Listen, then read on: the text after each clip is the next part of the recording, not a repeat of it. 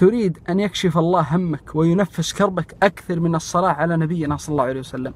قال أبي بن كعب يا رسول الله أجعل لك صلاتي كلها. قال إذا تكفى همك ويغفر ذنبك.